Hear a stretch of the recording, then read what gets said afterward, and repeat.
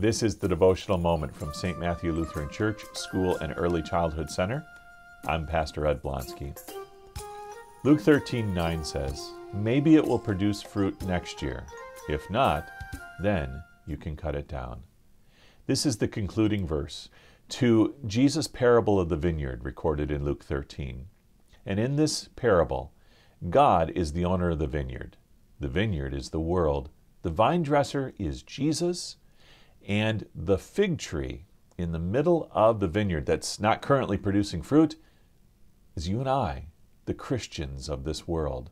There comes a time when we are blindsided by worries in this world, sidetracked by tremendous blessings in this world, or just plain tired of doing the church thing that we don't produce fruit.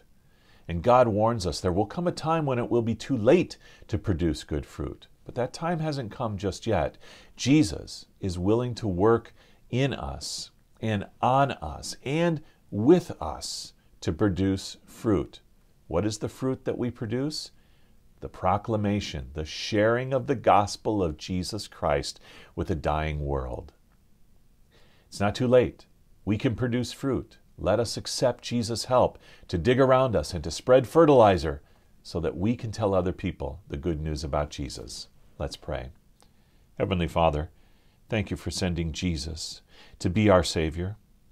Forgive us when we don't produce fruit, and we are thankful that Jesus works on us and in us and with us by digging and spreading fertilizer so that we can produce the fruit that you created us to produce, and that is to tell the people of this world the good news about Jesus, how his life and his death and his resurrection is for the salvation of mankind.